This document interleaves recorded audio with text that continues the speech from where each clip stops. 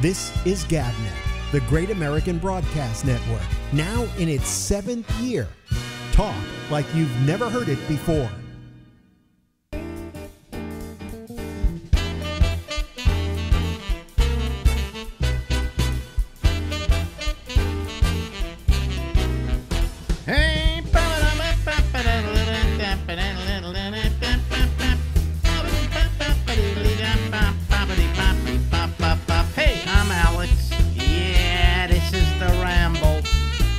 Until midnight tonight from New York, New York.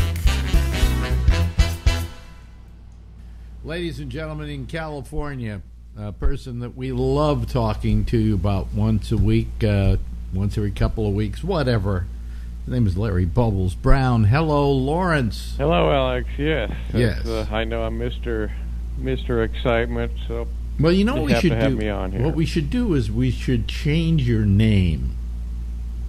Now, here's what I'm talking about. You know, today they always do things like J Lo. You know, things like that. So I'm I'm just thinking that something like LBB would be really a great way to refer to you. How you doing? notorious LBB. Let's just try it on. How you feeling, LBB? Yeah, I kind of like that. I you had a good one. I actually said it on stage one night. It's because of the changing demographics. I should change my name to El Fomo. El what? El Fomo. it got a laugh too. I tried it. El FOMO. Oh boy, yeah. Hey, you've been working at all uh, now that the, uh, the the some of the restrictions have been lifted. I did have one of my first real gigs the other night, yes, in Lodi, but as a winery. It was actually very nice. So Mhm. uh, it was fun. I could barely remember 20 minutes, so uh, That had to be real strange after what a year and four months. year or and a half. Year and a half. I saw Rich Scheidner. I know if you know him. He Yeah. about a bunch of comics were saying, "Oh, I, I'm really lost on stage right now." And he said that after Richard Pryor had his accident, that uh, it took him a year, a full year, to get back to normal. So To- on stage. Yeah, yeah. Well, I mean, uh, it, it, it, it the, people don't understand this, but there's such a thing as there's certain person gets up and does comedy, and they just think, oh, that looks easy, you know. That's, uh, well, the hard part it's it's like gay sex. The hard part is making it look easy. Uh, uh, the the hard part is making it look easy. I mean, you make it look effortless, and yet there's a lot that goes into it. There's the creation of the material. There's the timing. There's the, you know, and then you you got to remember all this stuff. You got to remember the material. Rodney Dangerfield, someone that used to work with him, told me he'd freaked out every day he did a show because in an hour he would do 250 to 300 jokes. Wow. And so he, would just listen to a cassette all day and try to get him in his head. really, Yeah. you would think that would kind of come naturally. You know that. Uh, I wonder if if Henny Youngman had the same problem. There was another. I mean, we're talking about comedians who who tell jokes one after the other. Yeah, the one-liners, and you can do like a, a quick joke is like uh, 10 seconds, so you can do six in a minute. Who's the guy I'm thinking of? Uh, but he was in uh, Reservoir Dogs. He did the voice in Reservoir Dogs. Um uh, Uh, Steven Wright. Steven Wright. Steven Wright. I mean, it's just it's one joke after another. There is no material, as it were. There's no pieces, hunks. You know. No, and he uh, he walks back and forth to the corners of the stage, and someone told me he when he was doing that, he was trying to remember the next joke. That's, Yeah. Yeah. Because I mean, he was one joke after the. He was he was a great one-liner. great jokes, and they're none of them were connected to each other, so that's make so you don't even get a chunk. So that's why it'd be really hard to remember. Yeah. yeah. He is. I haven't seen him do comedy lately. Is there a reason for that? I think he's got a he's got a strong enough following where he can pretty much sell out a two thousand theater anywhere, so you can make a pretty good living doing that. And I think that's what he wanted to do. Yeah. So he just he just kind of like just does one or two couple of shows a year to make Yeah. his living and uh, yeah. But uh, and know, he had that uh, amazing shot on Carson in '82 when I was a rookie comic, and uh, I remember they he got an HBO special, but they were trying to put him in a sitcom or something, they they really didn't know what to do with him, other because he just tells these jokes. He, he, but, uh, he, he didn't fit anywhere. yeah, You know, I mean, he had a great voice. That's why they used him. Uh, uh, Tarantino used him in Reservoir Dogs as the radio announcer, uh, and it really fit. It really worked. But it, there was no material there that he had to do. It was something he was just reading. You know. So, uh, but uh, no, you couldn't. Uh, what could you, uh, Steven Wright? What kind of a sitcom could you put him in? maybe, maybe, yeah, it'd be hard. Maybe about a guy who has a medical problem in which all he ever talks in is one liners. Maybe that would be a good uh, series for him. That might work. Yeah, yeah. Yeah, yeah. Uh, but, uh, you know, I mean, um, did you, you, you know, you, you, the trouble with you, Larry, I think you could have had a bigger career. I really think you could have had a bigger career. I think you. Well, it couldn't have been much smaller. But no, it, it hasn't been small. I mean, let's face it. You know, you're working, still working to this day. There are comedians who love to have you open for them because you're a great act to put on before any other comic, just simply because you don't spoil the room. You know, you're a very low key act. So, uh, I mean, no, nobody would want to follow a loud act. You know what I'm No. saying? You, you wouldn't want to follow, for instance, oh, in the old days, Bob Goldthwait. You know, no way to no, follow. him. Oh my God, no. And it's not that Goldthwait was good, although he was, but in those days. But it wasn't that he wasn't good, it was just that he was loud. And you can't follow that. You can't follow a guy who plays a musical instrument in his act. These are Or all someone people that juggles. someone that juggles. We, we're talking about acts literally that kill the room. You don't kill the room. You just you do your jokes. You come out. You're low key, you know, and then anybody can follow you. It's not that you're not as good as they are. It's just that you don't spoil the room for them. Uh, yeah, that's a that's a good point, and uh, I tell uh, younger comics it's. I don't think anyone gets famous anymore, but if you want to make a living, uh, if you can, oh, if you can open for someone that is famous, that's not a bad life. Well, I know. I'm, I remember somebody once that I knew that was was opening for somebody, and it was somebody fairly famous. And he said, "Boy, I'm going to go up there and blow them away." And I went, "That's not your job. yeah, yeah, That's not your worst job. thing you can do. Your job is to set up the room for them.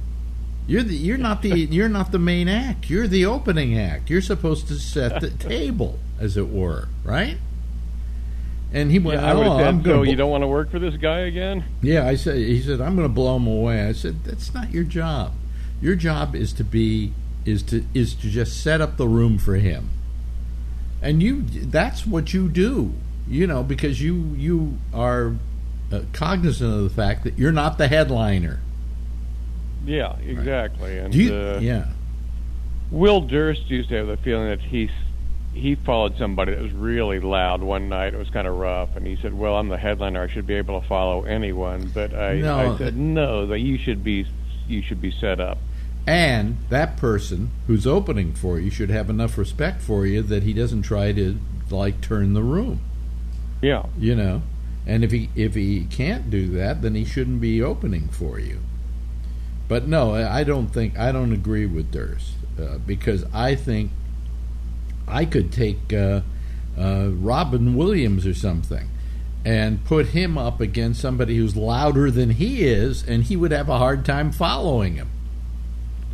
Yeah. you know? So i mean that's that's the way that is so uh, how uh, so you the the gigs went good then huh The Gig went very nice. Yeah, so it's uh, Were people required to still wear masks or uh no, no. no? Okay. Although things are getting bad again, so I, I think I was going to come back. I know I'm supposed to go into like court in a, a couple of days for my uh, apartment thing, and I don't think I don't want to show up. I, I I just think it's getting dangerous out there again. The infection rate is high again. I mean, I've been vaccinated, but I can still get it. You know, There's still a chance I can get it, and I don't. I think you're safe. You're, if you even if you get it, you're not going to get as sick as you would. They say, right? Yeah, and that's very nice to know. But are we sure of that? you know, I mean, I just I think that we're jump we were jumping into this thing too fast uh, by saying take off your mask, go have a good time. It's uh, it's it's it's like a nude swim at the lake during camp. You know, everybody go go do what you got to do, and you know have a good time, and blah blah blah. blah. And oh, by the way, there's a new variant now. Well, what brought that on? I think it was all these people not uh, having to wear masks anymore. You know, so I mean, uh, uh, would we have had this new variant? Would it have been able to grab hold if everybody were still wearing masks? You know, so I Who don't. knows? It's the, I'm I'm the I- Delta variant, the Delta variant. Yes, which. I thought was just another crappy airline. Yeah, no, they're gonna. And there's one after it. There's like the Omega. I think is the next one or something. Oh, they'll probably run the alphabet. They're yeah. going to run the alphabet, and then they're going to run the Jewish alphabet. There's going to be the Chai, and there's going to be the Aleph, and the uh, yeah, uh, and then them. You know, but uh, they, they're going to run the alph- the uh, Greek alphabet. Uh, uh, but I I don't know if this thing's ever going away. I'm beginning to think it's not. I'm, I'm beginning to think that in one form or another, until everybody gets vaccinated, I mean everybody, it's still going to be there in various stages and various mutations. You know, I mean, this is a very robust bug. It just keeps adapting and keeps adapting. Oh, you you you you found something to um, give people shots against me, huh? Well, I'll fool you. I'll come up with something more. Then it just keeps coming and coming, and I'm I'm sick. I'm sick and tired of it. Well, the Spanish flu lasted three years and virtually disappeared in one week. So who knows? Did it disappear in one week? But it said virtually overnight. Like I think in a week. Yeah, just zap, it was gone. Wow. Now, and they didn't come up with like a vaccine. They didn't. There was no up- vaccine then. No. After it took about what 50 million people, something like that. They said 50, possibly 100 million, we- and the population of the world was a fourth of what it is now. Yeah. Wow. So that, that was incredible. wow. And then it just one day, no more. I read literally gone in a week. That I, I find hard to believe, but you know, if they say that, it must be true. Well, we can ask Alexa. but that, uh, yeah, I just uh, it was killed so many people. I, I can't get over those numbers. Yeah. You, you know where it started? I was talking to somebody the other day. It started in um, Kansas. Kansas in a uh, at a military camp. uh, army camp, and then it went to Europe. I don't know why they called it the Spanish flu. Because it, well, it started here, and those they sent the soldiers over there, and that's where it's they kind of delivered it in Spain. But uh, yeah, it started here. But but were we at war in Spain? Were we fighting in Spain? I don't. Oh, just so. funneling troops throughout Europe. So Oh, okay. All right. So and uh, that was that the thing that started in Kansas. They're burning a huge pile of horse crap, and they think that's where it came from. And all these guys breathed it in. Wow. Yeah. Wow. So, but this is, you know, if we had got this, if the Spanish flu happened today, I think it wouldn't be a problem because we have uh, antibiotics, we have all kinds of things that we didn't have. They probably then. have treatments for it. Yeah. Yeah. So if you talk about bugs which are more pernicious, this one is the worst I think ever. I think this may beat the Black Plague. Well, that killed a quarter of the population. Yeah, but the, how small, how large was the population at the time? True. So, so, uh, so what you're saying, percentage. what you're saying is that every so often a plague comes along and wipes out a quarter of the population. well, not well. I wish that were true, but uh, it would be good probably. Well, I mean, can't we? Couldn't we consider that um, uh, that maybe this is nature's way of weeding us out? Oh, absolutely. You know, I think uh, nature's saying, uh, "This place is too crowded. That's not healthy." Let's and clear it out. and, and what does cause the spread of these diseases is people getting together in crowds.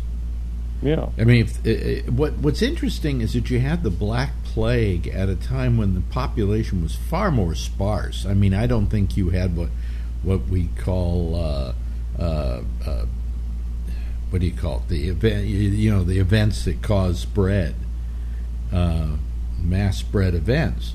Uh, I don't think we had that back then. We just had the Black Plague. And what caused Yeah. the Black Plague? Do you know? It was spread by rats, but it was a lot of it was done by. There was no sewage then. People would literally uh, go to the bathroom, like in London, and just throw it out their window on the street. But wait a minute, hold on a second. Uh, the, the, so the Black Plague was caused by fleas, I think, on Yeah, ra- on uh-huh. rats. But but I think the shit and everything helped spread it. So Yeah, rats running around. Uh, and, the rats didn't have it. It was the fleas on the rats. right. Yeah.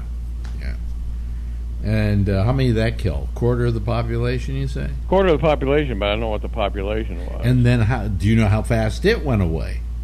that I don't know. I'll bet it was really fast. You know, I, because it's not like i- if people got together and said, "Here's how you prevent the Black Plague," you know, and then said, "Wear a mask and do this and do that and wash your hands and whatever." You know, they didn't. They didn't do that sort of thing. So apparently, it probably just died out again on its own. Yeah, this would be interesting to know, and I wonder if there's been any more plagues that we don't know about. Yeah, yeah, yeah. Well, I mean, this is not going to be the last one for us. You know. No, there They- were uh, there were small tribes of Indians in America that uh, they got a bug and just wiped out the entire camp. So, Oh, really? Oh, okay. so I don't think people probably aren't meant to live close together. The, I would I would say, I would say, but I mean it's it's terrible. It's just terrible. Uh, this whole thing, and it it's I've seen it in my lifetime.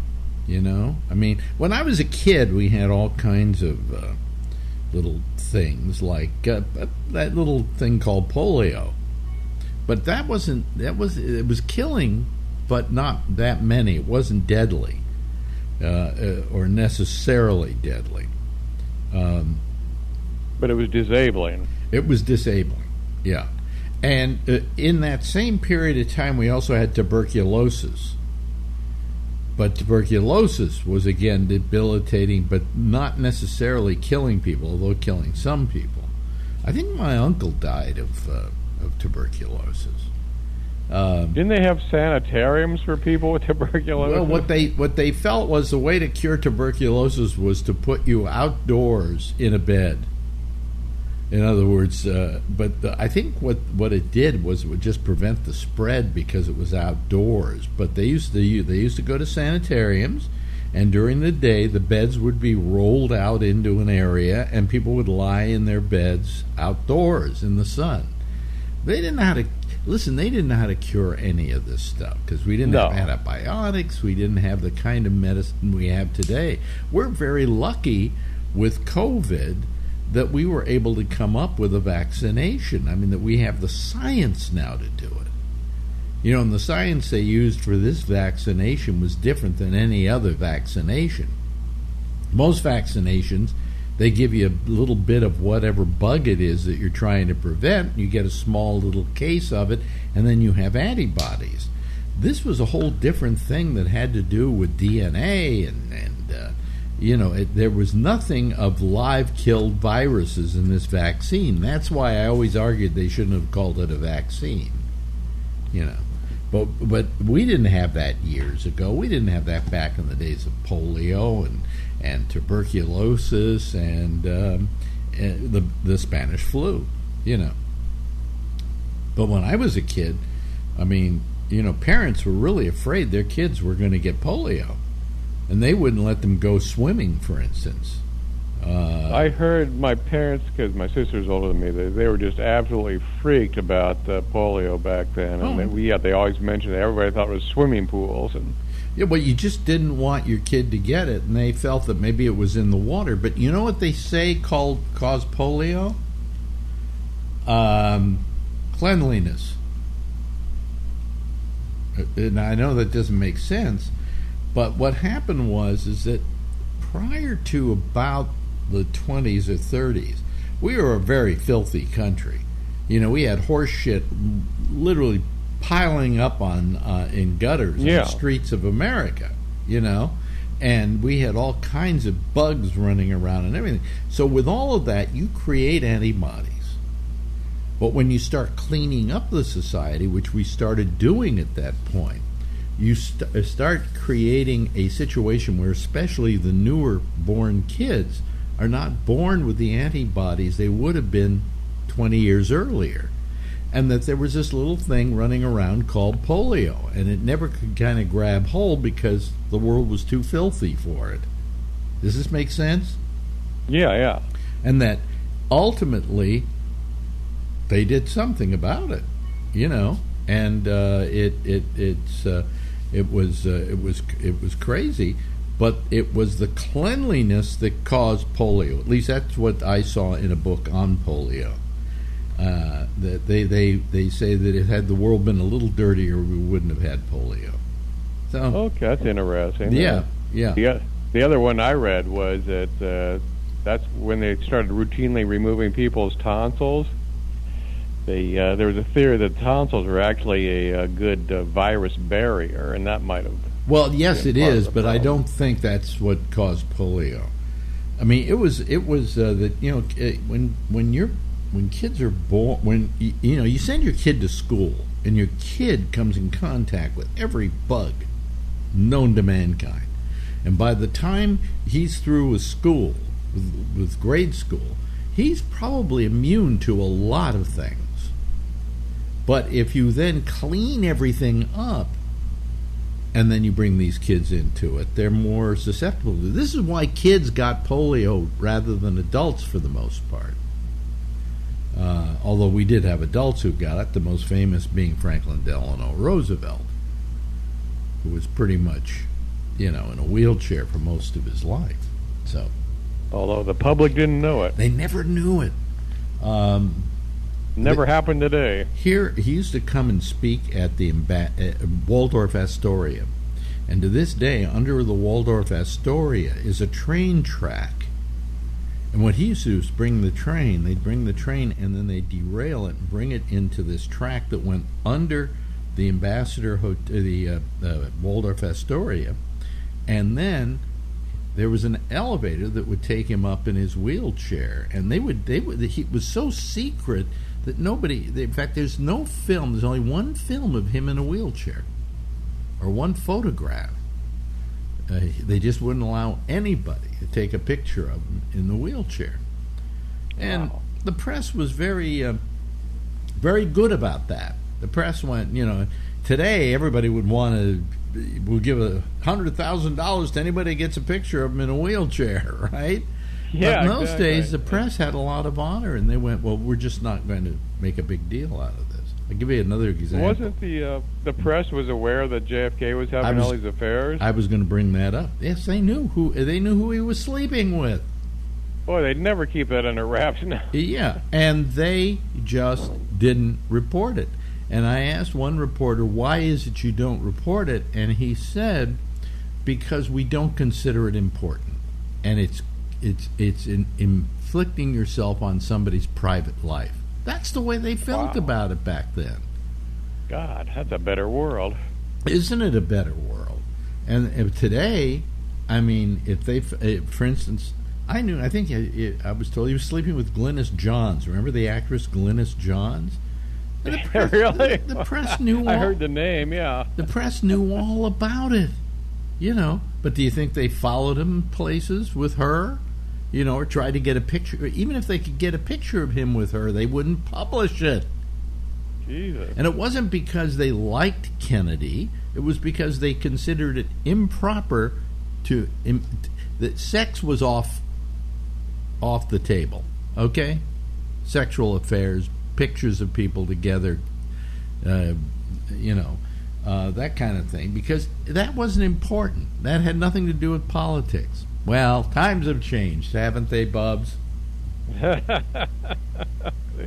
Not for the better. Yeah. Boy, what a nice discussion we've had today. Yes. Yes, talking about the indiscretions of presidents and hiding presidents and uh, uh, just the whole thing about Glynis Johns. Where do I know? What, what what was she in? I, I, I remember can't. the name. I can't remember, but she was she was in a, quite a few films for a while. Very attractive Oh. woman. Very attractive woman. And then, of course, he was, English? he was double teaming Marilyn Monroe with Bobby. You know. So, Yeah. Yeah. And that wasn't reported. Okay. Good example. Anyway, hey, listen, gotta go. We've run out of That time. was this was interesting. I liked it. Yeah, well, we talked about disease and presidents. Ladies and gentlemen, I'll see you in a couple of weeks. This is Larry Bubbles Brown, folks. you got it. This is GabNet, the Great American Broadcast Network, now in its seventh year. Talk like you've never heard it before. And welcome back here. Oh, wait a minute. Hold on a second. What happened to my background here? Look at that. It's doing it's doing really strange. Look at that. Oh boy. This always has Oh, there we no. Now it's not uh let me see here. Hold on a second. I know what I can do. Let me put up some uh, white here. There we go. And there no? Wow. Wow. That is strange. That is really strange. Look at that. Hmm. Hmm, Let me see here. If I were to move this down, yeah, and then I move it up, is it is it still a problem? Oh well, I guess it is. Let me see. What happens if I turn the lights up here? Oh, look at that. Is that that's really it sucks. That really sucks. Uh, let me see here. Uh, let me let me uh, let me let me try uh, turning up the lights a little bit here. No, that doesn't do it. That doesn't seem to do it, and that doesn't seem to do it. Wow, that's amazing. Hmm. Oh, let me see here. What else can I do? How else can I uh, can I change this? Okay, I will go here to uh, filters filters, right? I will go to my uh, camera. I will go to filters, and we'll see what happens here. Let me see if I can uh, can change it. See, everybody, see technically what I'm doing here. Okay, there's chroma key, and if I uh, if I go out with, uh, let me see here, a little similarity maybe. Maybe that. Cha- oh, there we go. Okay. There we go. There we go, I think. But I've got to change this down a little bit. I've got to go down a little bit. Oh no, I got to go up. That's got to go down. There we go. Got to go down. Got to go down. Here we go. Well, let me see here. Whoa. Now this is really, this really sucks, doesn't it? Huh? What is that all about? I have no idea. Uh, let me see here. Smoothness. No, that doesn't change it. It's over here. There seems to be there seems to be a problem with uh, lighting or something. I don't know. That's really strange. Hmm. Oh well. I think I'm okay now. I think I'm all right, but who knows? I'll I'll, I'll fix it over the weekend. Uh, because I, I now it seems to be okay. But there also seems to be a problem with my um, hmm. Hold on folks. I just want to get this uh, fixed here. Uh, this is you know I, I really am getting sick and tired of this actually. Uh, but it's the way things go. Let me see here uh, if i go to this and then i maybe turn this up a little bit maybe turn up the brightness just a tad will it be okay? Let me see here. If I turn the brightness up, oh, what is that? Wow, that's very, all very strange. That's all very strange. Okay, white balance temperature, turn that off, turn this on. Okay, I guess, uh, no, you see, see what happens if I get a little shade in there? my eyes all of a sudden disappear. No, well. I don't know what the problem is, and I quite frankly don't give a good goddamn. Uh, let me see here. Let me just do one last thing here, uh, and uh, see what happens with. Uh, oh well, we'll just have to live with it, I guess. Huh? I guess. Alrighty. I, I I give up. You know. Um, I can go to this thing and uh, I go to camera and then it turns that up and then it turns this down watch this see oops wait a minute we go down there we go okay well I guess this is as best as it's gonna get anyway hello how are you isn't this nice huh yeah anyway is my am I my face is a little too red. I'm I'm gonna have to, I'm gonna have to fix this over the weekend. Anyway, uh, I've got some people to get in here and start talking to. Uh, I hope you enjoyed that little technical stuff we've been doing, uh, and uh, we're uh, we've got uh, a whole bunch of people Yeah. here. And let me see here. Let me go to the panel, and uh, there they are. So far, there's uh, Jeff, and there's Vernon, and there is Charlie and Josh. Hello, Josh. And of Hello. course, Trucker Steve is here as well. So, anyway, I, yeah, I'm not dead yet. you're not dead yet. No. How, Me either. How do you know? how are you feeling? Okay, Oh. good. Good. hmm Yeah. You you look healthy. Yeah. You know. I feel a lot better. Yeah, Yeah. Yeah. You're Good looking you. healthy. Um, I haven't. I haven't been on the show that much lately because I sleep a lot early because of my dialysis Yeah. appointments. Yeah, darn. Yeah. Well, maybe we'll just have to do the show at a more convenient hour tip for you. you know? Uh, anyway. Uh, Hmm. hmm. So, where are we? Let's see here. So, I'm sorry I had a little technical difficulties there, but I can't figure out what happened with my blue screen or green screen or whatever, but it was not doing what it should do. I'll fix it over the weekend. Anyway, um, um, let me see here. Oh, listen, uh, I uh, uh, we went to the uh, this virtual Van Gogh thing they have here. It was a big deal. Where where it I can't really describe it, but it's kind of a virt. They call it a. Uh, virtual Van Gogh or whatever, and you go into this these rooms, and they're all the pictures are all over, and they've animated them and so on. And there are two of them in New York, and, and Marjorie took me to the wrong one. she no, and to, uh, uh, I, I I love her for her sweetness and in, in getting tickets for this. But a friend of hers got tickets earlier, and they saw it a couple of weeks ago at this other location. And the other location, she said, was so much better. This was just what this was was just the the moving exhibit, and then a bunch of souvenirs that you could buy. And all I could Exit think, through the gift shop, huh? yeah, well, he, yeah, exit through the gift shop, exactly. I, as a matter of fact, we're going to go see a, uh, a, a Banksy uh, exhibition. So I wonder if we do exit through the gift shop on that one. Anyway, so so anyway, uh, uh, uh, here are all these these souvenirs of uh, Van Gogh, like um, what do you call it? Thermos bottles with Van Gogh's art on it. And you're going, you know, when Van Gogh painted this, do you think he said, you know, when I'm finished with this, I'm going to try and turn these into thermos bottles? You know? No. No. So I hated it. I really did. I, I Coffee thought, mugs. well, what they were doing is they were animating his, they were animating his art, and and you know they were stripping his art of the backgrounds and you know Doctor Gachet which is uh, the, the famous painting of his. You had the doctor, but you didn't have the background.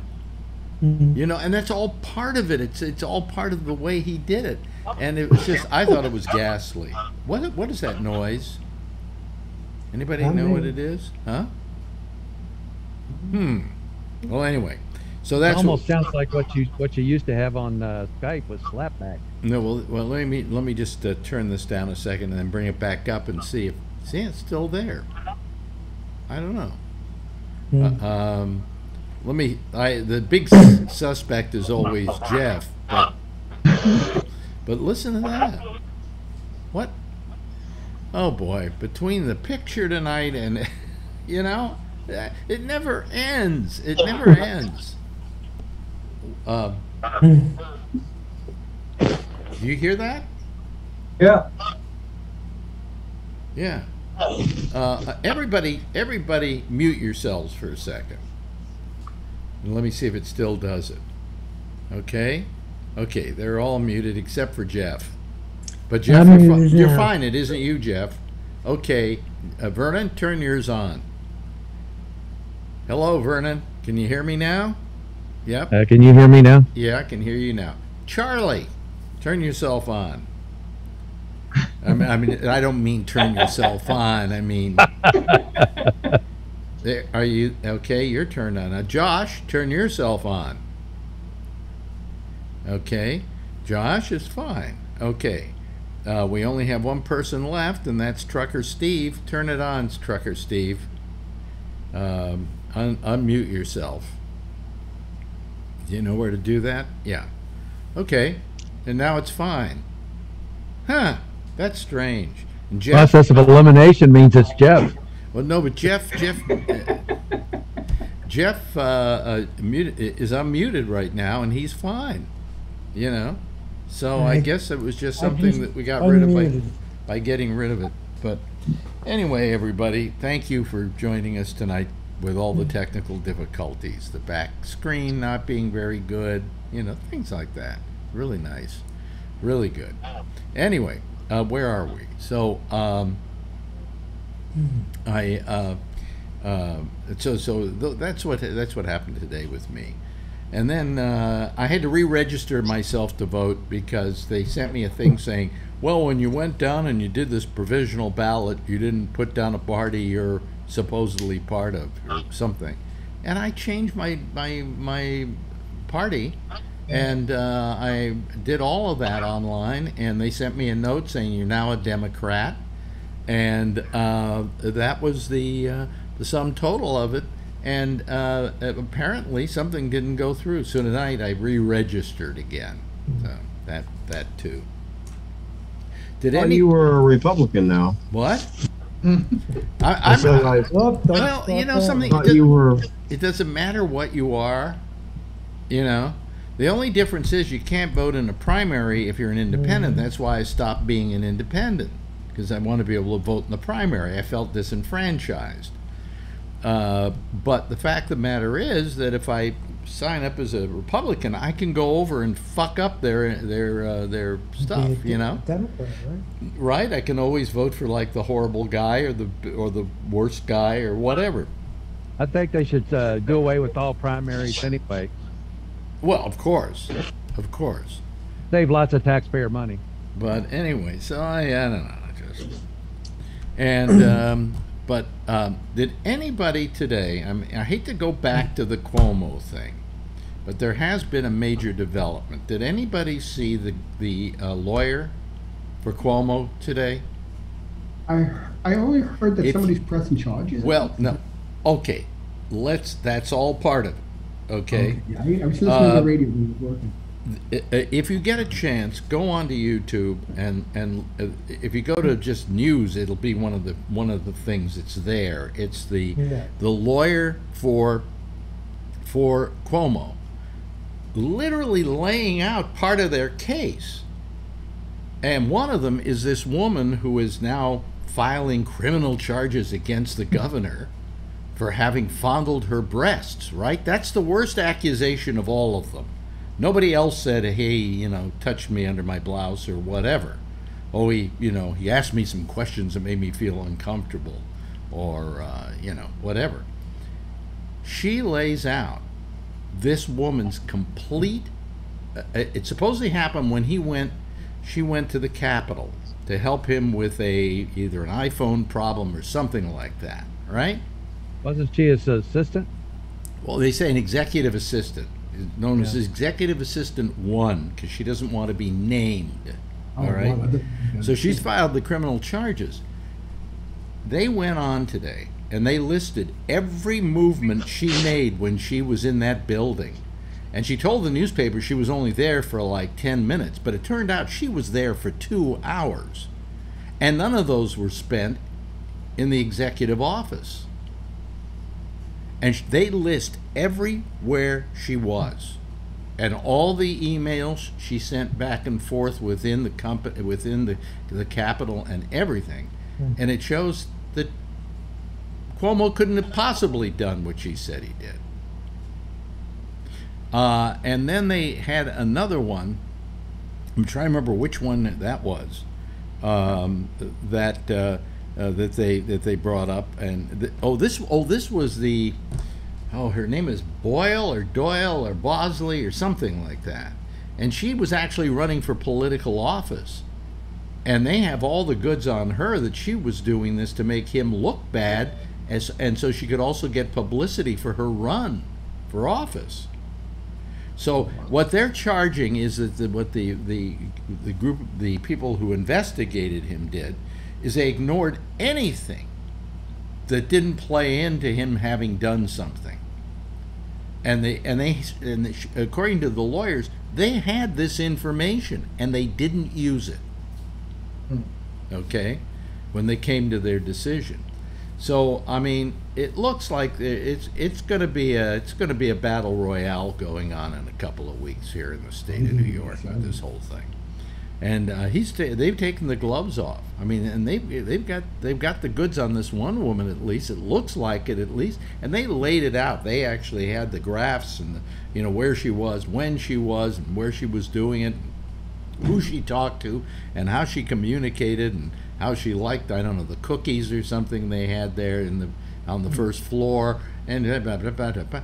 It's really very fascinating. So if you get a chance, watch I'm that. look it up. Now I'm interested in. What do you think? What do you think, Vernon? I mean, about what I just said. I mean, you're not completely 100 percent up to onto it, right?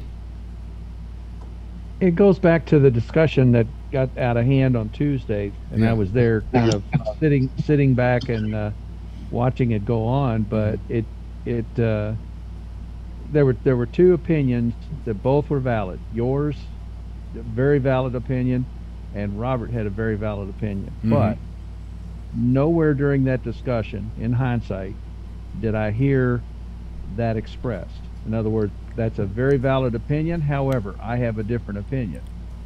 And it just it started going like this. Yeah. Okay, well you can't have a reasonable discussion once it gets out of hand like that. From what you're saying, if that's true, then Cuomo's got a damn good defense. Yeah, yeah. Well, if you go to this, it, it, if you go to it, it's very, it's fascinating. They literally list every movement this woman made while she was in the in the uh, in the executive offices, and they can pretty much do that these days because you know they follow texts and things like that. And uh, it, it, it seems to say that at no point was she alone with the governor. You know, she claimed that after she left the room and uh, told him to stop it, he slammed the door. And they said, if somebody slams a door in that old building, you hear it everywhere in the building, and nobody heard it. You know, uh, the, these were things she said to the newspaper. So they're taking her accounts that she gave to the newspaper about what went on, and just tearing them down and saying, you know, she's she, patently lying. So That's what a good defense lawyer does. that's what a good defense lawyer does, exactly. So, you know, uh, I ur- it's it's it's good TV, you know. And if you're following this, have you been following this whole thing, Josh, or do you just not care? I wouldn't say following it. I mean, I'm aware of it. I Yeah. know a fair amount about it. We've discussed it here. I mean, I'm not, I'm not glued to it or anything like that. I mean, but I'm, Well, we're not ask, ask, asking that you be glued to it. You hmm. know. I mean, but I, I mean, I know what's going on. I mean, you know, I didn't uh, see his lawyer's press conference or anything today. I mean, and I haven't been like watching their Right. press conference. Well, you know something. You probably I, pay. I know what's going on. I- I- I pay attention, more attention to it than you guys do because I live here in New York. Yeah. You know, and it's a big New York story. Hmm. I pay Yeah. attention because my son lives in New York. Yeah, yeah. I mean, I, I don't. I mean, I'm not very big fan of Cuomo. Um, even before any of that, really. Uh, I mean, I think I got caught up, you know, and tonight uh, in a few hours of some of the shows from the middle of the week. And you know, look, frankly, I don't understand why people can just not let other people think something else and then kind of go over it or whatever and then you reach a point where the other person's mind isn't going to be changed or anything well, Well- then you know Well, the, only Well, place I where I would kind of disagree with Vernon was is that I pretty much had the attitude about, I, you know, that's your opinion, you know, and I'm not, I'm not going to hold it against you. You know, what we're doing is we're having discussions here. We're not trying to start wars. There's no no winning or losing here. No, Yeah. but what I was talking about though is Yeah. that it is a very it's a very valid point that when you're in public office, Oh, one of your primary jobs is is to have the faith of the public that you're doing what you should be doing. Yeah, but what happens when other people go about eroding that faith, in spite of the fact that it's maybe not warranted? No, that's a valid point too. Yeah. I mean, if these people are seeking uh, public office themselves and they're just trying to sling dirt because they they want to get elected to your your job, Yeah. then you know. Well, you know that- what I would it- do? It mean- could all be bullshit too. You know, if you're if you're governor or you're even a, a, a famous person of any sort, you should never be in a room alone with a woman without someone else there. Okay, um, without somebody else being there, it's just not a good idea. i mean i can Yeah. I can take both sides of it, you know, and I understand your your point. I mean, you know, the stuff kind of stuff that you argued about on Tuesday and Wednesday or whatever. But I mean, I guess, like I said, really don't care for Cuomo, etc. The whole resignation thing or whatever. But I mean, I can understand you saying that even if some of this stuff happened, it's not completely egregious or whatever. Mm-hmm. And you know, and then like on the other hand, even though I don't like the guy, look, I could accept the fact if somebody, even if Cuomo came out and said, "Yeah, you know what? It's all 100 percent true. He did it. I did it. It's 100 percent true. I like women. I like touching women. I like feeling women. I like seeing if I can fuck women. And you know what? That's who I am, and I'm staying because the other side can't throw me out because when their guy did this and 10 times worse, they said it was locker room talk, Right. and he stayed, Yeah. and I'm fucking staying. Right. And, you know, Right. I, and I could say, okay. Yeah. I mean, no. and say I liked it, okay, or anything. You know what I'm saying? But I, I, I mean, I, but I could say, Well, here's the thing. Fine. Here's the thing. You know? I don't think you know, like, uh, uh, uh, I wasn't that big a fan of Cuomo's. Okay, you know. In fact, the funny story was, I, you know, I have this neuropathy, and I went to my neurologist, and he then gave me a bunch of tests. You know, asked me a bunch of questions for a test, and he said, "Who's the governor of New York?"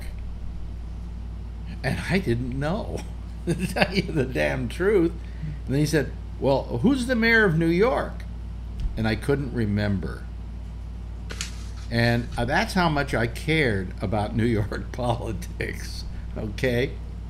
When he finally said Cuomo and de Blasio, I went, Oh, yeah, okay. So now that's before that's before the uh, uh, the whole you know deal with uh, with with uh, uh, COVID. COVID comes along, and I become very aware of Cuomo because every day I looked forward to those pep talks he was giving us, and they were you know they're really very good pep talks. Uh, I think that he brought about a a certain uh, attitude in New York that we're going to beat this thing, and we were just I mean. I got to tell you, I went past Mount Sinai Hospital, and there was a tent outside put up by, I think, uh, Franklin Graham's organization. You know, come on in. We'll we'll help you with COVID. Just say you believe in God. I mean, but there was a tent outside Mount Sinai. They were using big freezer trucks as morgues. I mean, it was it was horrible here. Nine hundred new cases every day. Wait, wait a minute. Wait a minute. No, more than that. Nine hundred deaths every day. Crazy. I mean, can you even imagine that? Well, he brought it down to a point where it went to zero. Okay? But through his little talks every day and his his come on, we can do this and wear a mask and you know, do this and do that and uh, taking all the measures to like clean up the subways and uh, on and on and on. and so I got to like him because of that. You know, but I knew he was a bully. You know, I knew that when if you were a political opponent, you better watch out. You know, he was going to do anything it took to to smash you. Um, he was that kind of guy. He was that kind of politician. So, you know, you There are take lots of politicians like that. yeah, you take the good with the bad. You know, I mean, uh, uh, I think the only people that should not be allowed to run for politics are politicians. You know, I mean, the people we've got who want that kind of job are kind of nutcases. especially professional politicians like Mitch McConnell. Yes, absolutely. Uh, from your own state, right? Yep. Yep. So, um, you know, I mean, I, I, I just, uh, I, it's, it's, it's, uh, who knows? Anyway, I'm punchy again tonight. I don't know why. Uh, so, yes, Jeff. Well, I think the one thing that's interesting is that this lady is actually suing the governor. Yeah, yeah. But she, but when they, I don't know how far she's going to go now because Well, they laid out this I- case and this, you know, Hmm. uh, and lawyers don't generally lay out a case before they go to court, right? They they want to surprise people, right? Uh, Hmm. and and uh, here they laid it out. They said, "Come ahead, sue us, but let's look at this. We got all this information here showing you're lying." Well, in every in every court case that I'm aware of, Mhm. there's the thing called discovery. So if they Yeah. if they know stuff, they've got to tell the other side what they yeah, know. Yeah. but I'm saying, but you don't have to show your hand until it's time to show your hand. Up here, they were showing their hand right now. They said, "This is what we got on you. This is this is this." Is, it looked like this would be what would wind up in the thing that they're, that the state has requested because they're thinking about impeaching him. Uh, that uh, they uh, they should uh, they they do they want to uh, tell their side of the story, and they've said yes. And by the way, everybody, I'm on TV today. This is our side of the story because they felt uh, that what went on was that they wanted they had a preconceived notion of what they wanted the answer to be, what they wanted the result to be, and they discounted all information that would have played into him not having done it, and just accepted information that was the other way. So. And it wasn't, you know, it wasn't like a really legal case. It was just that they were uh, uh, looking into these accusations, and this is what they came out with. But it seemed like they were kind of in, in what they did. They didn't come out with just information. They came out with just a lot of really nasty stuff, and uh, you know. But anyway, hello, Charlie. Haven't seen you uh, this week because you're probably baseballing it up to a fairly well, right? Yeah, yeah. Been several weeks. Um, Now, just what- got rained out tonight. Yeah. Well, I, I I'm I'm thinking of uh, of changing uh, the time the show goes on, switching with Jack, so you can then call the show. You know No, he'll be asleep by then. who? Charlie. I'm on Jack's show every night. No, he's on Jack's show. Um, you know. Well, I'm asleep. Uh, you're asleep. Yeah. Yeah. Yeah. Uh, let me. Sometimes see. I have a hard time staying up this late. Hmm. Sometimes I have a hard time staying up this late. Oh, okay. Um, yeah. Uh, hello to um, uh, Brian Neary. Look, Brian. You see what? Nice hat. Huh? Nice hat, huh? Nice hat. Huh? That's a. I got that from somebody. Wait a minute. Let me. Where'd you steal that? Hold on a second. Uh, I got some other stuff here too that was sent to me. Uh, I gotta take a picture of that so I can show all my friends at work a has been. Some fucking has been wearing Yeah. my our stuff. the, yeah, yeah. The, It has been. Oh.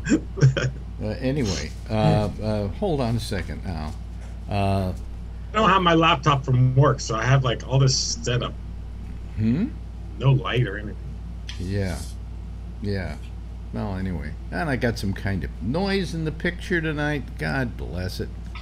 Anyway, what is this to begin with? You have to Oh, explain. that's that's Adrian. She made a rainbow for you. No, go see the rainbow. Oh, oh, okay. Other oh, way. Oh, it's the other way. There's the rainbow. There you go. See, it's a rainbow. Nice. Yeah. Rainbow with the ground on the bottom. Yeah, and what, what, what, what- oh, this is the ground on the bottom. Okay. Yeah. Now I want to show you the other thing she sent me. This is the one she made like last year, and I keep forgetting to send it to you. Uh, look, look at that. Isn't that sweet? Yeah. There's There- your citizen there- panel. Well, there, no, but there, there's, there's, Yeah, citizen panel. there's Adrian, Mm-hmm. right? And and who is this guy with one hair coming up the That's top me. of his head? You see that, folks? All the boy, all the men have like that, and all the girls have the hair going there. And then there's the citizen panel. right? Yeah, citizen on the it. computer. Now, you know what is great about this, and and uh, it, she has a real talent. Everything is in proper perspective. Yeah. You know, she, uh, when she gets older, she probably would be very good thinking about an art career because she already she has a sense of perspective. Yeah, And, her proportions are really good. the and this is from like a year ago. She's gotten a lot better, but yeah, her legs and everything are Yeah. are yeah, not too short, not too Oh, long. you just missed it. When was this done? Same thing, uh, six months ago or so. Okay. Well, you, well, well, But there's a better Sh- one. if, if you see her, Yeah, tell her I, think she'll love be her. up. Tell her I love She'll her. be up later. Yes. Alex, hold up her. the other one about Which uh, one? The picture? The one where, where it shows the whole house. Yeah, yeah. Yeah. Pam's looking at it now. Yeah, that uh, it's Brian with one hair coming off the top of his head. He looks like Zippy the Hey, Pinhead. that's there. all of us, right? Yeah, It's got four legs too. yeah. I see Bob, I see uh, Robin Natali down there. Yeah, that's the old one. Joe. You know, I I have think, her. I think Bree, Bree was on that one too, so that's an old version. Who? Oh, oh. Bree was on the citizen panel, I think. There, so that's an old Well, I heard from Bree. Oh, really? Yeah, Bree's been writing me today on my fa- uh, my uh, YouTube page, uh, and uh, saying just nasty crap that I don't understand, accusing me of all kinds of stuff. From what? Of what? You? Well, You know, he was a, he was a big Trump fan, so maybe he's just pissed off that Trump lost. I, I know what happened was. Let me see here. Let me see if I can find the. the I two- always thought he was a nice guy, Bree. She was like this whole. Well, he was he was okay. Yeah. Um, Don't worry about him because they can't get Okay. the vaccine over there. This is reg- uh, it had to do with the with the thing with uh, Bob Natali. You deserve it, Alex. That guy attacked me out of nowhere, and you piled on. I wasn't even there. I participated in your show for years, listened to you for years, and you tossed me away like yesterday's trash. Uh, ad hominem attacks and more. And what goes around comes around. And then he sent me a second note here that reads, just desserts. Now, does anybody remember what went on? Who is this? This is, remember Bree? The guy who was always cleaning his From backyard? Kuala Lumpur. Yeah, he lives in Kuala Lumpur. The Kuala Lumpur. I mean, I, uh, I it, all I know is that somebody said something nasty about him on the chat. Okay, and then uh, I think either I mentioned it or one of you guys mentioned it, and we all kind of laughed a little bit. And then he said, "Well, that's it. I've had it," and he left. Now, I, I, uh, I, I, number one, I I didn't know it was my job to, you know, defend him. Secondly, you take that kind of thing and let it roll off your back. You know, what you're going to be, you know, uh, uh, into it with trolls. I mean, I can't remember. Does anybody remember exactly what went down?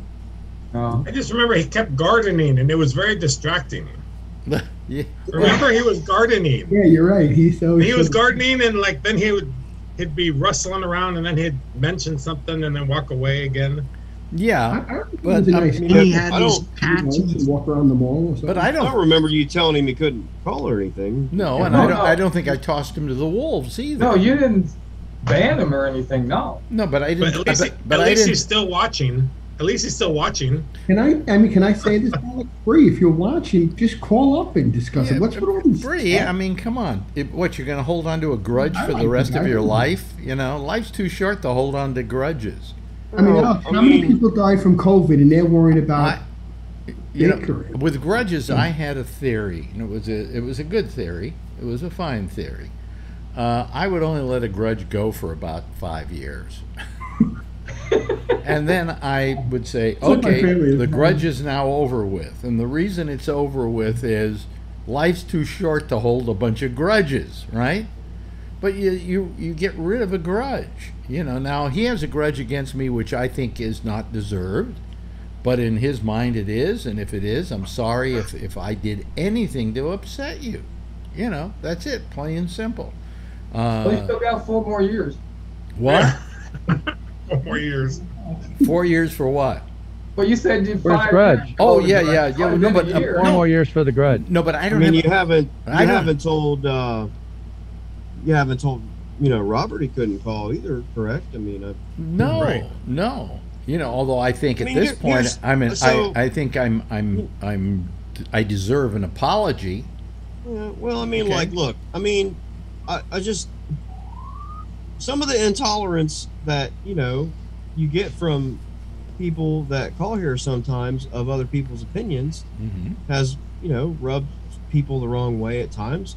I mean, we're a little bit more freewheeling on Saturdays when we talk because of that, you know. But like, here's the thing: I mean, people fight, and then they get over it, like big fucking Yeah. deal. So- I mean, you and I can air our fucking old dirty laundry, right? Did we not at one time? I mean, Right? Oh yeah, you and I. big had- fucking. I mean, and then whatever. Yeah, and uh, uh, you know, But everyone has to get all like, you know, and, and like what uh, at this at the time, you know, I got all, you know, twenty messages or whatever. Oh, you're such an asshole and dick. You fucking care. That- no, but that's People that's- fight and then they move on. Well, I mean, it's what I wrote. I wrote Robert. The last note I wrote him went, "Come on, it's only a show. You know, it's only a show. You're going to take it that was- seriously? You know." He was mean at the end, though. He called you a hack. He said you're never a hack. Oh, no, my no, God. no, no. You're a has Oh, been. God. You're a has been. Has been. Which, by the way, uh, Mm-hmm. in Robert's case, Robert, it's better than being a never was. You know. so I mean, uh, but I mean, I, I, I just, you know, and uh, if if he were to apologize for what he did the other night, which I think was unwarranted, because I've been very good to him. You know, I've given. He wasn't happy coming on the show because certain people were coming after him. So I gave him his own little shot at, uh, you know, doing Thursday nights for about 25 minutes with me. And, I- and I was You know. enjoying it a little bit. Yeah. You know, and I don't do that for everybody. No, Although I at, thought at- the rate I'm going, it may wind up being everybody. But you know, uh, but I mean, I, I and I have always been very nice and appreciative of him and everything. And when I we didn't hear from him for a while, I, I wrote him to say, "Hey, are you okay?" You know, things like that. So when he all of a sudden went on this rage, all of a sudden of just attacking me. And then finishing off by telling me to go fuck myself after he was bothered by somebody else telling it, telling him I think it was, uh, um, I think it was uh, uh, Phil Meyer who Yeah, told him to go got me fuck to- himself. That was fun. Okay, and he didn't like it, you know. Uh, but he told me to go fuck myself, and then uh, said you're a has been, and hung up. You know. So. Ver- Vernon has his hand up. Yes, uh, yes, uh, Vernon. I wasn't on the show Wednesday night, uh, but I did listen to it after it was recorded and posted on Facebook. I mean, uh, on YouTube. Yeah. But I got the impression, not that he didn't overreact. I agree, he kind of overreacted on what he did to you and said to you, and then hung up in a huff. Mm-hmm. But from the previous night, and then again Yes. on Wednesday night, he felt like, at least I got the impression that he felt like you weren't listening to him about the public trust that Cuomo was seemingly losing. No, he was just mad because I disagreed with him. He he did, you know. Uh, No, uh, but Phil, he, he Phil- wanted to be listened to. He wanted his point of view to be acknowledged, and you wouldn't acknowledge it. Oh, I, I- I, I, I, I agree. I had acknowledged his point of view the night before. I mean, that I understand his point of view, but I, I have mine, and here's mine. Um, yeah, but the other thing too was that uh, trying to make the uh, equivalency between what was happening with Cuomo and the accusations against Cuomo versus some of the other Me Too crap. And Well, I think that I don't I- I, don't think he agreed with that. Yeah, well, you know, I mean, uh, I happen to think that you don't want to do anything to dismiss rape as uh, putting it on the same level with rape because, I mean, it's not. It's just not. Right. And I haven't heard anybody do that except on that show Tuesday night. Yeah, well, I mean, the thing was, uh, uh, it was Tuesday night, and then there was was it Tuesday night? The Tuesday night that we we argued it, Yes. and then I think it was Wednesday night he hung up on me. Was that it? Yes. Yeah. Yes. Yeah. So It- yeah, you listen to Tuesday night. Like Brennan says, Tuesday night's really the key. You look at that, and only you and him were talking all night. Even Alan didn't get a Well, word I- I- edgewise, I which is felt- amazing. I had I had people write and complain that he was monopolizing the show. he yeah to You get know. his point of view, but it, to him it wasn't his point of view because at the very beginning he called in even on the chat he was saying you are wrong. You know, he wasn't saying I don't like I don't agree with your opinion, but he said you were wrong, and that's But where the like next Brennan night, I think he came on to do exactly what he did. You know, because he did that to Phil. Yeah, you're right. You might be almost right, 'cause almost the same right after- thing. Phil says you must know now how it feels. Yeah, You know. he really went after Yeah. Phil on that. Yeah. Uh, but I, I, you know, I don't, uh, uh, you know, I mean, I, I just, I, I was just disturbed because I didn't know where this, this vitriol was coming from. Because No, I think that was an overreaction. Yeah, of course, of course, it was an overreaction. And I'm not sure what else was going on in his life or whatever, but you know, Mm-hmm. we all we all get our we all get our, our things in a wringer once in a while. Yeah, yeah, but you know, I mean, if he wants to say he's sorry for the way he acted towards me, uh, he's welcome on this show anytime. You know, I got mad at Tony one night, and Tony came on the next night and apologized. And know? can I say something about that? I, I really am sorry, Alex, when I said that, but it really wasn't, and I told this to Phil, it wasn't meant really towards you indirectly. What I was mad is it was, and I don't like to speak about Robert like this, but when him and Phil were arguing that night, mm-hmm. he, he said, Phil, if I scratch you, you're a racist.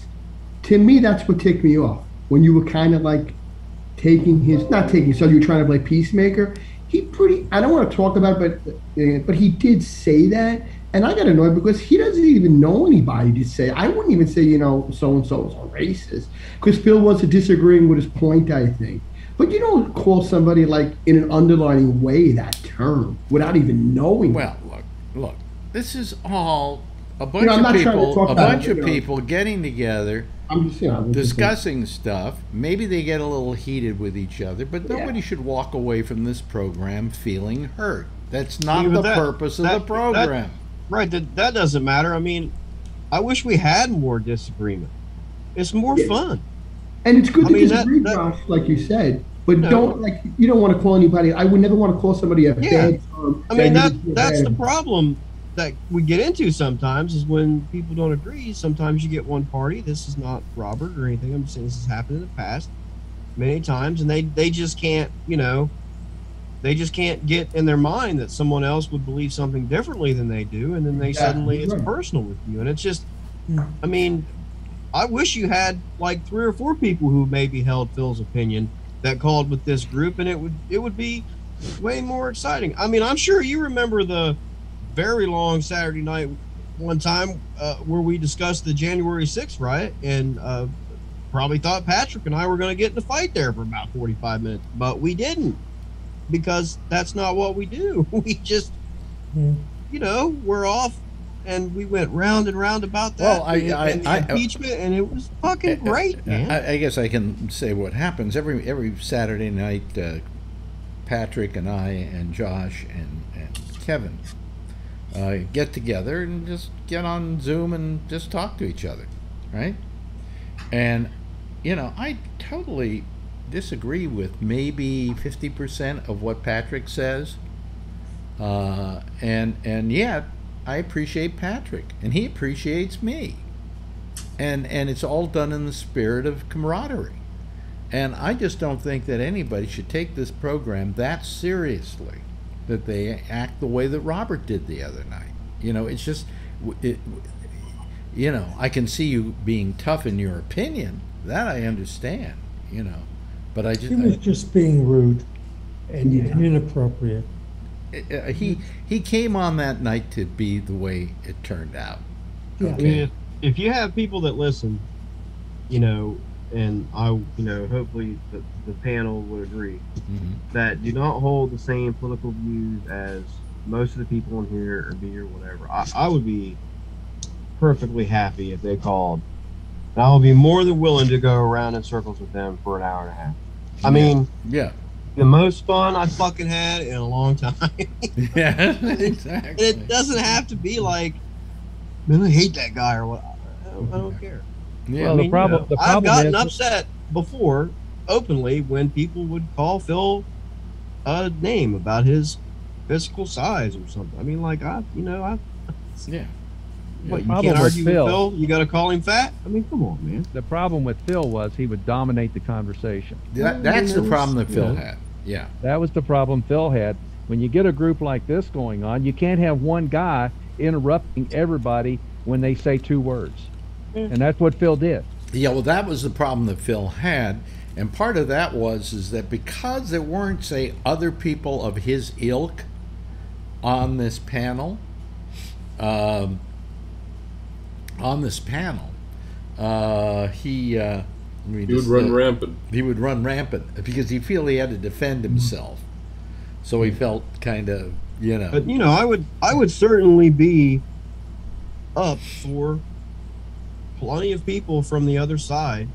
You know, I mean, I sometimes think, man, you know, I, I know a few people that are, you know, as whacked out in the head as Phil. You know, Yeah, maybe I can yeah. get them to call. You know, I mean, look, why was, why was Crossfire such a popular program on CNN in the uh, '90s? I mean, because people like to watch people argue, right? I mean, Mhm. it's more entertaining than, to me anyway, than a Rachel Maddow or somebody telling you what she thinks. well, that's what makes 15 minutes with but- no one else to but- say anything against. That's what makes MSNBC so fucking boring, is that there eh, there isn't enough of that, you know, give and take.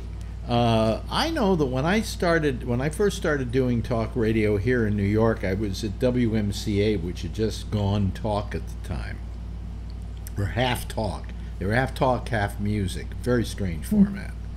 Uh, uh, until a few years later, when they all went all talk. But anyway, uh, uh, I went on um, after a guy by the name of Bob Grant. Well, I like Bob. Grant. And Bob was a, a, a you know, a, a right winger, but he was Oh, yeah. he was all show business. Okay, Well, he I- knew he knew this was putting on a show too, and he and I, uh, when we would do our crossover between his show and my show, we'd start getting into arguments Are you forward? you know, and that made for good radio. And then I would do my show, and the person after me might be a middle of the roader, and the person mm-hmm. after that, and a right winger.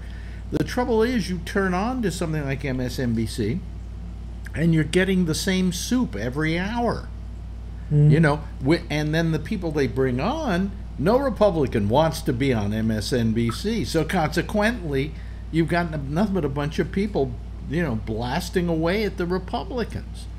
Uh, and I would love to see a channel where you had this mix up of, of right and left, you know, right and left on the on the station, but that you don't, and that's the trouble with the, with the, what they're doing today. Um, You have to change channels to watch that. Well, you have to go back and forth really fast. Yeah, You know? Yeah, I mean, Or you get the you get the 15 minute segment on Fox where they bring in a Democrat for five minutes and they argue and then they go to a commercial. Well, That's I'll all. tell it- you, go over to Fox. If I go over to Fox, I feel like I'm going into a different world altogether. Sure, it is. You know, it's like all of a sudden I've gone from a place where uh, there was a riot on January 6th to a place where it was really just a bunch of people having a fun time. You know, They were you go- patriots protesting. yeah, Yeah. and, and and while I think that the perception of what went on that day is the one that I saw with my eyes, although I did make an argument years ago that the trouble with television is it's a frame, okay, and whatever they're photographing in that frame is what they want you to see. So Yeah. the the the the eye of the camera is very, quite prejudiced. But people say I saw it, so therefore it must be true. And I was saying this about the riots in Chicago that nobody saw what was going on outside the frame. You know, where people getting their heads beaten in and everything else. You know, and um, I think that's the problem too. Is that there's this myopic vision of the cameras with those networks as to what they're actually going to shoot, and and but that day I don't think you could have put that camera any in any direction and not gotten that carnage. Okay. So I'm not going to say it, it, the cameras were prejudiced. I mean, wh- where were they having this happy party? Uh, I I don't see it. Yeah. But nevertheless, and then you go over to uh, Fox and you hear one thing about COVID, and you go over to MSNBC, you hear a whole different thing about COVID. So I mean, it's just this has got to stop. You know, the media is ruining this country. Listen, Uh, yes, Jack's yeah, got his hand up. yes, Jack's got his hand. Oh, hey, that. He doesn't wanted to drop in and understand say that you don't have to raise your hand anymore because when you start talking, we see you're doing it. But anyway, Oh, go okay. ahead. Go ahead, Yeah, I'm thinking about I'm doing, you know, my show where you got to raise your hand. Right. Uh, first of all, Alex, I agree with you 100% that there was a time when uh, this talk media that we do Mhm. was far more varied. And you'd have a station that would do, like you said, there'd be a guy on the left, a guy on the right, maybe a guy in the middle. And frankly, we talked more about other things than politics. Right. And uh, I think the sad thing that's happened is the, the corporations that run the big outfits have said, look, we know we can make money doing this. And we don't have to worry about. Well, that's exactly what, what NBC did with MSNBC. Yeah, I mean, if you think when they were, well, they've changed ownership, but they used to be GE. If you think GE is a is a left wing organization, you're mm-hmm. out of your mind. My God. You know? I got so tired of friends of mine who weren't in the media saying, well, the media is all left wing. And, and I turned to some other friends and, oh, it's all right wing. And I, uh, and I had to tell them, the media is all money. Well, let me tell you this. I used to, every week, I was on MSNBC for about I 12, 12 weeks straight. Do you remember whose show I was on? Yeah, I used to watch that. Now Was I don't about remember the show. Huh? I remember Carlson? Tucker Carlson show. I was on with Tucker Carlson. He was on MSNBC, folks. You know, For a long time. yeah. And now he's over in Hungary with the dictator. Yeah, right. Yep. Actually, I have to say, the Tucker treated me pretty damn well. I mean, that I have to say. I, I, I, his politics are for crap, but he treated me okay, you know. And I was treated fairly on that show. And even when the uh, when MSNBC said, "Ah, we don't like that segment you do with Alex Bennett and this other guy," uh, we would like you just to do something else, blah blah blah. He went out and fought for us, uh, but he didn't win, but he fought for us. And you know, I, I mean, I was as left wing on that show as you could possibly get. You know, I was probably more left wing than anybody who's on MSNBC right now. Uh, and yet, uh, Tucker was very fair to me and was very happy to have me on and liked my participation. He didn't suddenly say, "Oh, that Bennett, he's too too left wing. I don't want him on." So you know, but that's what happened back in the day. You know, he could be there, and then somebody else who was on the left could be there. And it was it was kind of uh, uh, you know, it's just sad what's happening, and it's media that has is bringing this country to its fucking knees. I think. Uh, because Media and, and religion. Oh, religion. Media no, and but religion. religion has been a problem ever since one guy found out that he could make money getting people from other people by trying to sell them a fantasy. Okay. Jim Bakker. Huh? Jim Bakker. Jim, Ba- Jim Bakker. Yep. Jim Bakker? Jim, Jim, and Tammy Faye. Uh, you know something? Warm spot in my heart for them. Uh, I, I, I, I don't know if I have time. We- We're running out of time here. What? I thought I thought their show was the most uh, most uh, uh, entertaining show on television. Uh, and you've never seen Jimmy Swaggart. no, Swaggart uh, is a creep, but but uh, uh, Jim and Tammy Bakker Uh, all they want, all they wanted to do was entertain their Christian audience. That was basically their mission. They did it with puppet collect money. shows, huh? And- and collect money. but they also built what they said they were going to build. They said, "Send us your money. We're going to build an amusement park for Christians," and they did it. You know, it was there. Uh, and uh, the, the the problem was not with uh, uh, uh, uh, Jim Bakker and Tammy Faye. The problem was with the people who were running the place while they were doing the shows. I mean, I was I, I heard stories that people would go into the counting room, you know, where all the money comes in and everything, and start stuffing money in their pockets. Now, this wasn't Jim and Tammy. This was other people. You know, I mean, I'm not going to defend them entirely because they were religious hustlers, but of all of them, probably the probably the best.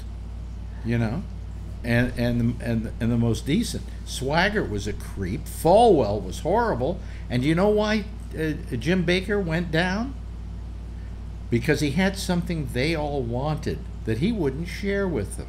In the early days, he saw the value of satellite delivery TV stations, and so he got a whole bunch of transponders on uh, uh, on satellites.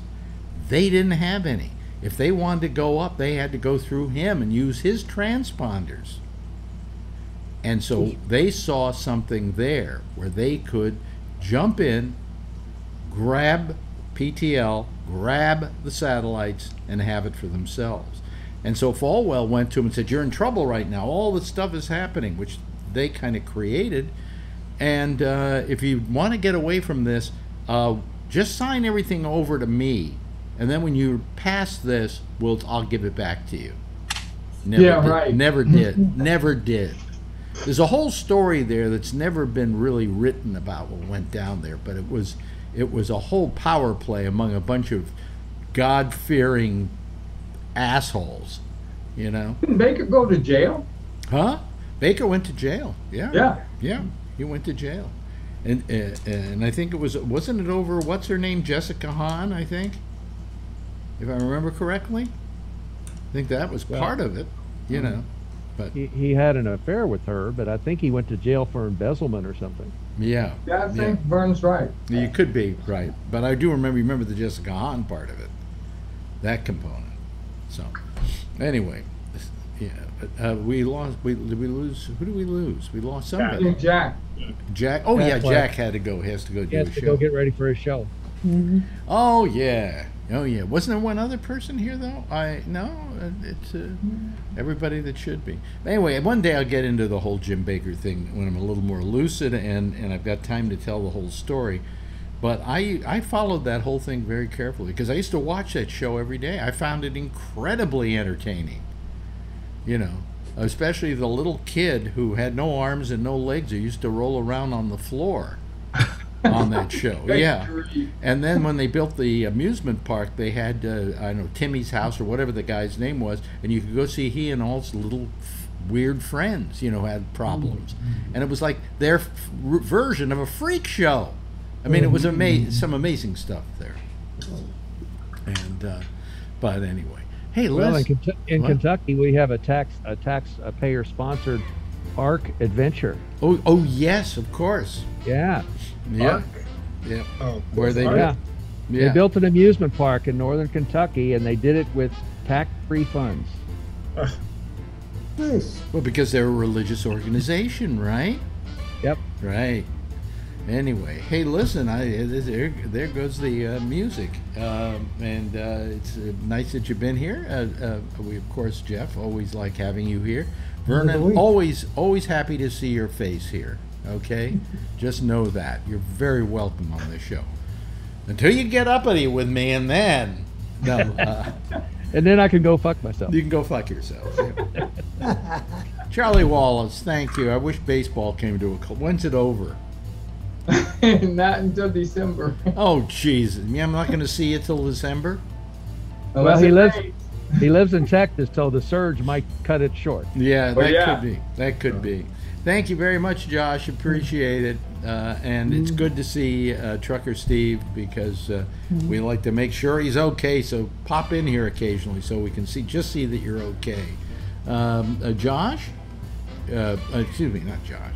Tony, thank you. I already thanked Josh. Uh, and Kevin, thank you, and thank you to Brian. And by the way, this is a great hat. I love hats, and I'll probably be wearing this one more than less because it's just cut very nicely. You guys did a great job of it. So. Doesn't fit my head, my big head. Yeah. Anyway, everybody give a big wave goodbye. I'll give a big wave goodbye at you, okay? And there they go. That's our citizen panel for tonight. There they go. Okay. Thank you, citizen panel. I appreciate it. I appreciate you all joining me tonight. And uh, I appreciate you out there. Uh, see, I got this background fixed now. Uh, I, I, I enjoy having all of you here too. Uh, we'll see you again. Uh, let's see, Monday we do our little Monday 4 o'clock in the afternoon show. It's a very nice show. You should uh, check it out. It's called The Pop Up. And then we'll see you again right back here, 1030. Same time, same station in life. In the meantime, as always, if you see her, tell her I love her, okay, will you? And by the way, if you haven't been vaccinated, do it, okay? Bye.